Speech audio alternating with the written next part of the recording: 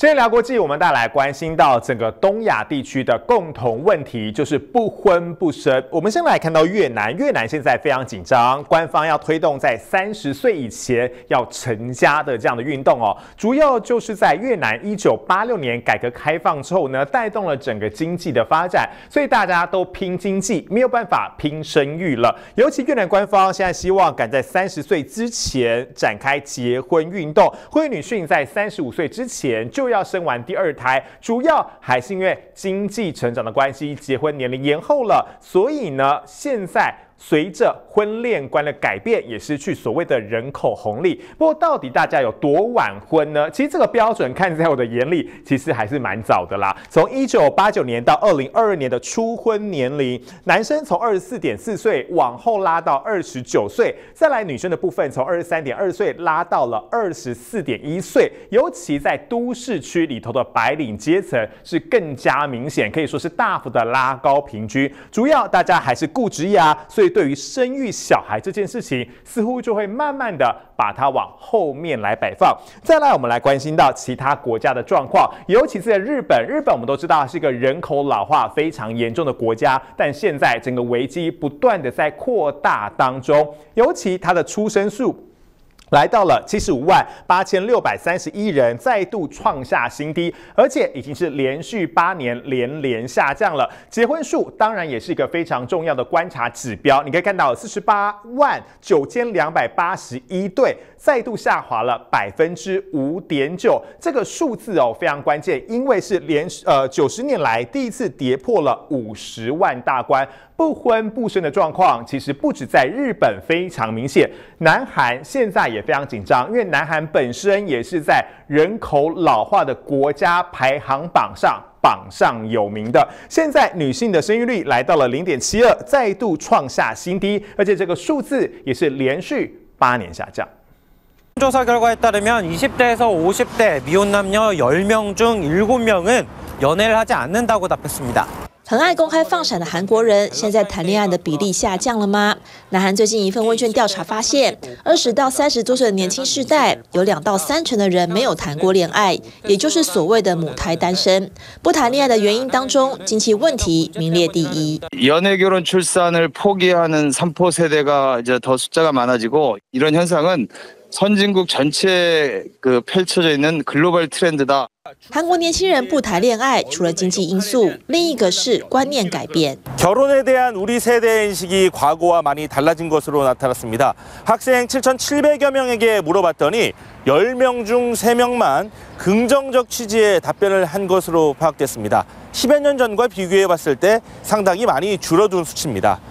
被问到是否一定要结婚，与二零一二年相比，男学生的回答从百分之八十二减少到百分之三十九，女学生的回答从百分之六十三减少到百分之十八。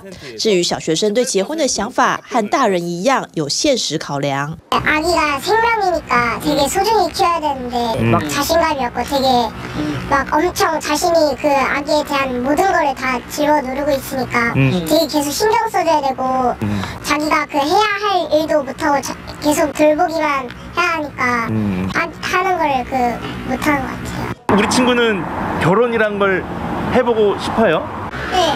예, 결혼 언제 하고 싶어요? 한 30세에서 40살 음. 중, 에, 중간 어, 언젠가쯤. 왜 그때 하고 싶어요? 20세부터 30세쯤까지는 뭐 군대도 가고 혼자서 생활도 해보고 싶기 때문에 자유 좀 느껴보고 싶고 刚成年的青年说出结婚更具体的必要条件。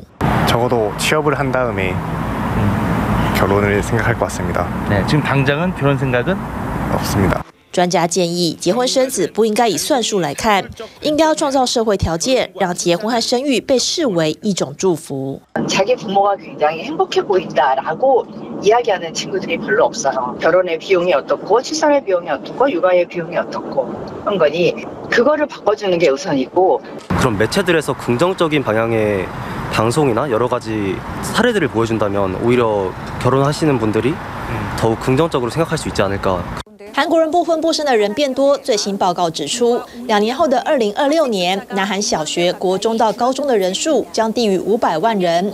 学龄人口急剧减少的情况下，学校将难以开设课后活动或举办运动会，营养午餐的价格也很难调整。连带今年将有四千多名老师被裁员，低生育率衍生的一连串效应，将大大改变南韩社会结构。TVBS 新闻综合报道。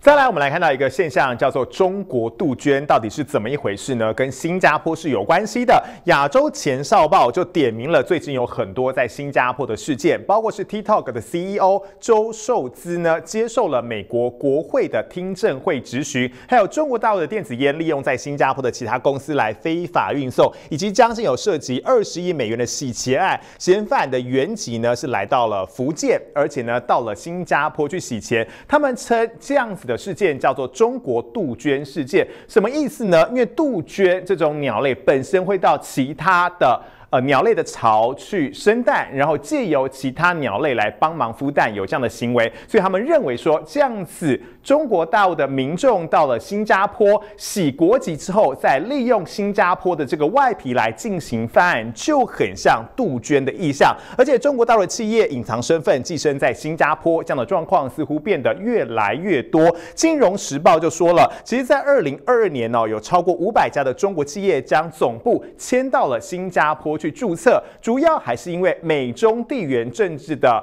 风险影响，还有印度市场反中情绪之下，他们干脆呢就用新加坡的这个国籍，还有新加坡的外衣来帮助他们可以有更多商业活动的一个外表。而德国的非营利组织共同创办人也说了，他们允许客户存了大笔资金。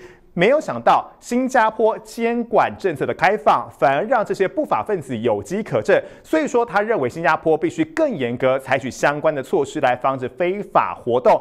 但是，当然跟所谓的自由开放的金融环境就会有极大的冲突。但是，有很多学者也有人说。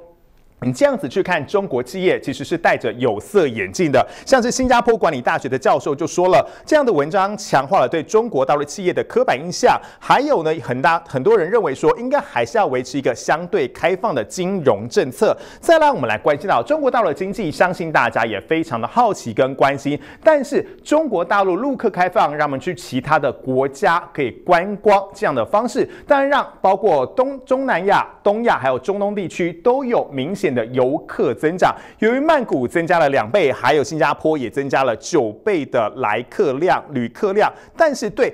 东南亚国家的经济来说，似乎并没有太多的益处跟增长。以东南亚二零二三年的经济增长来说，包括马来西亚、菲律宾、印尼还有泰国，基本上不是低于预期，就是有下滑情况。所以他们认为说，陆客并没有让中国大陆的呃东南亚的经济增长有更多长足的进步。再来，台湾玉珍香的台北一零一专柜租约到期，决定收店。美食街伴手礼区超过五家连锁糕饼店有柜位，假日下午满满观光客挤进来要买伴手礼，但其中一家从台中发迹的玉真心一零一的店面即将要撤柜。